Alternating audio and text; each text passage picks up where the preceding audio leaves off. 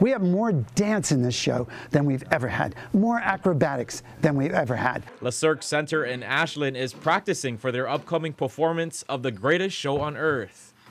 What we're doing up in the air is highly acrobatic, very percussive, very dangerous. Director Lorenzo Santa Barbara, who's been teaching for 37 years, says the group has been working for months to perfect their show. It's about a beggar who was uh, on her knees on the street begging, and then the ringmaster, not knowing this beggar, drops a coin in her bucket. And that's the beginning of a new life for her. The show will have performers from Ashland Dance Works and Mountain Parkour, with performers ages 12 to 18. They need confidence in what they do.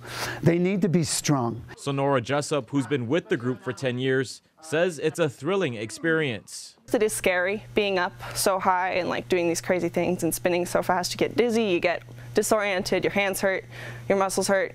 But the more you do it, like the better you get at it, the more it feels good and the more it's rewarding. The group will perform on February 2nd at 7:30 p.m. at Ashland High School.